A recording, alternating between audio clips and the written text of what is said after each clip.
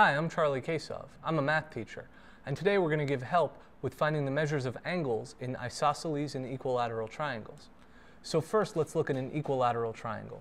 An equilateral triangle is a triangle in which all three sides are equal and all three angles are equal. Now, if the sum of the measures of an angle, of, of a triangle rather, have to be 180, then 180 over 3 equals 60. So that means all three angles are 60 degrees in an equilateral triangle.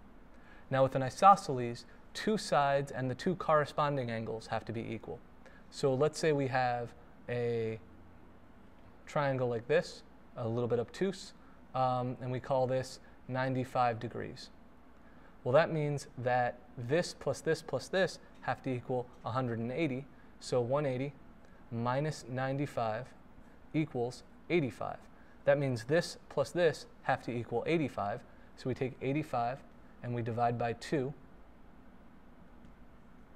And we get uh, 85 divided by 2 is uh, 42.5. So here and here are going to be 42.5 degrees. So I'm Charlie Kasov, and you just learned some help with finding the measure of an equilateral triangle and the measure of an isosceles triangle. Thanks a lot.